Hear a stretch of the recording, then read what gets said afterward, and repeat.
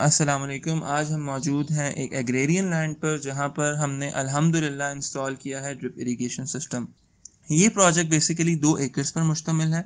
एक एकड़ पर हमने online drip irrigation system install किया है, जिससे मुराद वो ड्रिप सिस्टम है जिसमें ड्रिपर्स या एमीटर्स पाइप के ऊपर होते हैं। इस प्रोजेक्ट में eight litres per hour water deliver करने की कैपेसिटी रखने वाले दो एमीटर्स हर पौधे पर इस्तेमाल हुए हैं। अब चलते हैं प्रोजेक्ट के दूसरे हिस्से की जानब, जहाँ हमने इस्तेमाल किया है इनलाइन ड्रिप इरीगेशन का।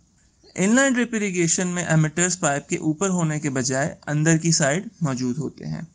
और प्रोजेक्ट के इस हिस्से में तकरीबन हर एक फिट के बाद एमिटर मौजूद है, जिसकी कैपेसिटी ढाई लीटर पर आ है। ड्रिप इरीगेशन के वैसे तो बहुत से फ़वाद हैं, लेकिन सर फहरिस्त आप तकरीबन बासानी सत्तर फ़ीसद तक पानी बचा सकते हैं, क्योंकि इसमें पानी महज पौधे की जड़ में डिलीवर होता है तो वो ज़ाया होने से बच जाता है।